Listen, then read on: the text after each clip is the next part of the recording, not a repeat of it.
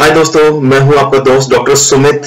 हाँ मैं हमेशा आपको एक्सपोर्ट इंपोर्ट के अलग अलग देशों के बारे में जानकारी देता हूँ। ये हमारी जो कंपनी है सुप्रिया ग्लोबल एक्सिम कंपनी ये हमारे देश में इंडिया में आ, हर जगह वर्कशॉप लगवाती है दो दिन की वर्कशॉप और दिल्ली में रेगुलर वर्कशॉप लगती है दोस्तों। आ, पहले दिन हम इंडिया के रूल रेगुलेशन के बारे में बताते हैं और इंडिया में कैसे लाइसेंस लिए जाते हैं कैसे एग्जीबिशन जो विदेशों में एग्जीबिशन एग्जीबिशन ऑर्गेनाइज करती है जो इंस्टीट्यूशन है गवर्नमेंट इंस्टीट्यूशन भी ऑर्गेनाइज करते हैं और प्राइवेट इंस्टीट्यूशन भी ऑर्गेनाइज करते हैं ताकि आप अपने प्रोडक्ट्स के बारे में उनको जा, जाके बता सके और वहाँ से ऑर्डर ले सके। इनके बारे में बताया जाता है दोस्तों। और कुछ डिप्लोमेटिक तरीके बताए जाते हैं जिससे आप किसी बायर को ढूंढ सकते हैं और ये पता लगा सकते हैं ये बायर असली है या नकली। दोस्तों हम एक हमारी कंपनी एक सॉफ्टवेयर प्रोग्राम भी आपको देती है जो अगर आप इसको इंस्टॉल करेंगे लैपटॉप में तो जितने भी लाइसेंस हैं जितनी भी इंफॉर्मेशन एक्सपोर्ट इंपोर्ट की, वो सारी आपके लैपटॉप पे आ जाएगी। आप कोई भी फॉर्म कोई भी सर्टिफिकेट आप ऑनलाइन भर सकते हैं और जो वो बन जाएगा तो आपके ईमेल पे आ जाएगा दोस्तों। दूसरे दिन दोस्तों, हम उस देश में, जिस देश में आप एक्सपोर्ट इंपोर्ट करना चाहते हैं, उस देश के बारे में बताते हैं। उसमें उसमें क्या इंपोर्ट ड्यूटी लगेगी, क्या सर्टिफिकेट चाहिए, क्या और प्रोडक्ट्स का ओरिजिन सर्टिफिकेट चाहिए, क्या क्वालिटी कंट्रोल होना चाहिए। और दोस्तों, हमने एक नया इसमें पैकेज एक नई चीज़ ऐड करी है जो है पैकेजिंग दोस्तों, हम, हमारे देश में पैकेजिंग करते हैं, दूसरे देश की क्लाइमेटिक कंडीशन वेदर जलवायु अलग अलग होती है।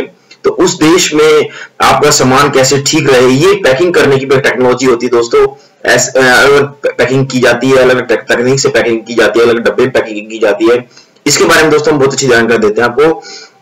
तो दोस्तों, हमारी दो दिन की वर्कशॉप अटेंड कीजिए। आज हम बेल्जियम के बारे में बता रहे हैं। बेल्जियम यूरोप का एक देश है। कैसे हम एक्सपोर्ट इंपोर्ट कर सकते हैं? पहले हम कुछ जानकारी लेते हैं दोस्तों बेल्जियम के बारे में। बेल्जियम की दोस्तों राजधानी है जो वो ब्रुसल्स है क्योंकि ये यूरोपियन यूनियन का सदस्य देश है तो इसकी जो करेंसी है वो है यूरो यहाँ पे दोस्तों जो भाषा है डच फ्रेंच और जर्मन तीनों तरह की भाषा बोली जाती है। यहाँ डच फ्रेंच और जर्मन मूल के लोग हैं, इसलिए ये तीनों डच फ्रेंच और जर्मन बोली जाती है दोस्तों। जब भी आप कॉल करेंगे बेल्जियम में तो वहाँ का जो कंट्री कोड होगा 32 वो लगाएँ दोस्तों। जब भी आप वहाँ पे जाएँ एग्जीबिशन में या किसी और पर्पज से तो अपना एक विजिटिंग कार्ड ज़रूर ले जाए जो दो, दोस्तों जिसपे आप उसके बैक साइड पे डच फ्रेंच या जर्मन में लिखा होगा तो काफ़ी आपको बेनिफिट्स मिलेगा। आप वहाँ प्रेजेंटेशन दें उनको। अगर आपके पास ट्रांसलेटर है दोस्तों तो बहुत ही अच्छा रहेगा आपके लिए। मैं दोस्तों आपको ये बताता हूँ बेल्जियम सबसे ज़्यादा एक्सपोर्ट क्या करते हैं दोस्तों? बेल्जियम में बहुत ज़्यादा टी एक्सपोर्ट करते हैं, चाय पैक्ड चाय कॉफ़ी वेजिटेबल्स हम एक्सपोर्ट करते हैं दोस्तों जैसे टमाटर, प्याज, आलू, गोभी, चुकंदर, ये एक्सपोर्ट करते हैं दोस्तों। हम जैम्स से बनी जैम्स जो प्रीसियस स्टोन है, उससे बनी चीज़ों को ज्वेलरी को एक्सपोर्ट करते हैं। जरकन है, पन्ना है, मूँगा है, ये चीज़ एक्सपोर्ट करते हैं दोस्तों। और दोस्तों, हम वहाँ से मशीनरी इंपोर्ट करते हैं इंडिया में।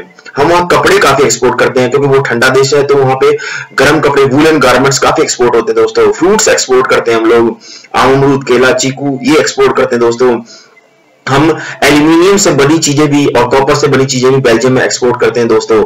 मैं दोस्तों आप कुछ सी पोर्ट्स के बारे में बताता हूँ, जहाँ से आप बहुत कम दाम में अपना एक्सपोर्ट इंपोर्ट का काम बेल्जियम में भेज सकते हैं दोस्तों। ये सी पोर्ट है पोर्ट ऑफ़ ब्रूसेल्स जो वहाँ की कैपिटल है। दूसरा है जेंक जेंक पोर्ट है, जो वहाँ का और है Charlie Charlie row Charlie row वहाँ पर पोर्ट है। दोस्तों, यहाँ पे बहुत अच्छी फैसिलिटी है एक्सपोर्ट इंपोर्ट की।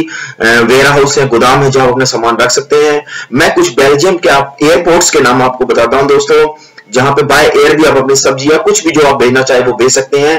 दोस्तों, ये है at work Antwerp international airports Ostend Ostend Bruges international airports दोस्तों फ्लिंडर्स इंटरनेशनल एयरपोर्ट्स ये ये बाय एयर भी आप इनसे भेज सकते हैं सामान, ये जो मैंने एयरपोर्ट्स आपके बताए दोस्तों।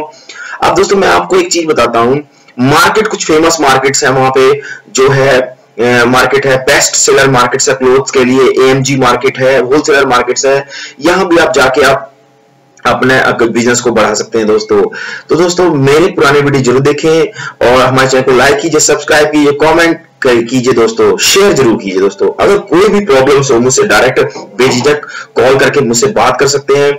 ये जो स्क्रीन पे हमारे, आप नंबर डिस्प्ले हो रहे हैं डायरेक्ट मुझसे कॉल करके आप मुझसे बात कर सकते हैं दोस्तों।